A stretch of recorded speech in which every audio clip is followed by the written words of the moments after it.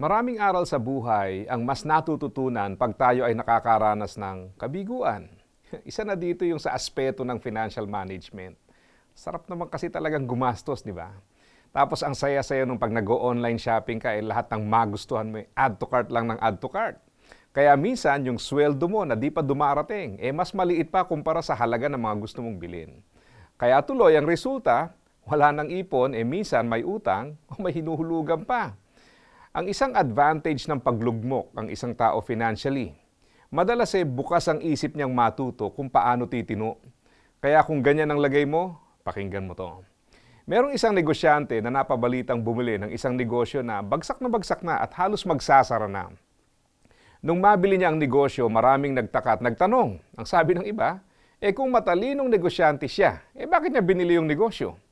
Wala halos makaintindi sa ginawang pagpapasya ng negosyante dahil alam nila ang kalibre ng negosyanteng ito at alam nila na hindi ito basta-basta papasok sa negosyo kung hindi naman magiging maayos ang kalalabasan. Eh minsan merong nangahas nagtanong, eh bakit niyo po binili yung negosyo? Parang common sense naman na bagsak na yan at halos wala ng value. Namangha sila sa sagot ng negosyante nang sabihin niya, Alam kong nasa pinakalugmok na nakalagayan ng negosyong ito na aking binili. Mahalagang malaman ninyo na may mga pagkakataon na kapag lugmok na lugmok na, eh wala nang patutunguhang iba kundi pataas. Hindi na ito babagsak pa ng mas mababa sa kasalukuyan. Isa na lang ang pwedeng mangyari. Ang ito ay umangat. Minsan, ganyan din tayo sa buhay may mga karanasang hindi maintindihan ng iba. May mga pangyayari na parang wala ng pag-asa sa paningin ng mas nakararami. Pero ang pag-asa natin ay sa Diyos. At ang ating pagtitiwala ay sa Kanyang magagawa. Pero pag kumilos ang Diyos, minsan, inaalis niya ang problema, madalas, tinuturuan tayo sa pamamagitan ng problema. Ang sabi nga ng Bible, kaya tiisin ninyo ang mga pagsubok upang maging ganap at walang anumang pagkukulang ang buhay nyo.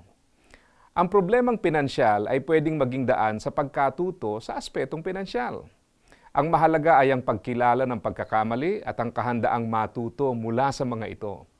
Huwag kang mapagod magtiwala sa Diyos, lalo na kung minsan ay tila mahirap maunawaan ang sitwasyon at parang hindi naman niya binibigay ang saktong sagot sa kahilingan mo. Alalahanin mong minsan, binubuksan ng Diyos ang kamay ng pagpapala para sa iyo. Minsan naman ay binubuksan niya ang ating mga mata at isip sa isang panibagong perspektibo. Asa ka pa?